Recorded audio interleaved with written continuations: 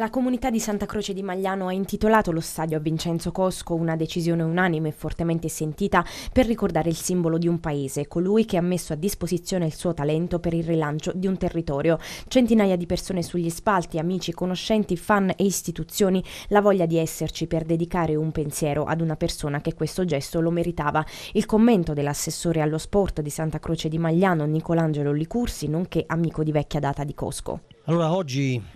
per la nostra comunità,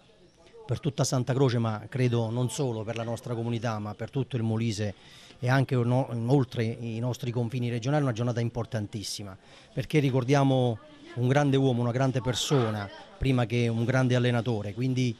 eh, quello che stiamo facendo oggi è ben poca cosa rispetto a quello che Vincenzo Cosco ha lasciato nei nostri ricordi e in tutte le persone che lui eh, ha conosciuto e che lo hanno conosciuto. Quindi intitolare il campo, lo stadio comunale a Vincenzo Cosco è una minima cosa che possiamo fare come comunità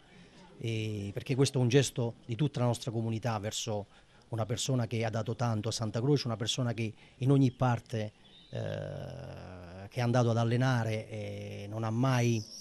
non ha mai diciamo, tralasciato il fatto o messo da parte sua, le sue origini. Quindi per noi è fondamentale questo, ricordarlo in questo giorno, creare appositamente un memorial come questo, il primo memorial, ma ogni anno mi impegnerò direttamente ma con una, con una squadra di amici ad organizzare il, eh, la seconda edizione, così la terza e così via. Quindi sarà un appuntamento annuale che noi dedicheremo alla memoria di Vincenzo Cosco e quindi penso di, mm, che è una giornata molto molto bella, particolare, c'è gente, purtroppo non ci ha accompagnato tanto la, il tempo, però comunque stiamo, stiamo, procedendo bene e dopo la finale che vede impegnate prima, pri le prime due squadre di questo primo memorial, la Polisportiva San Pietro e Paolo e l'Andria, procederemo all'intitolazione del campo fra qualche minuto e quindi sarà un momento di gioia per tutti.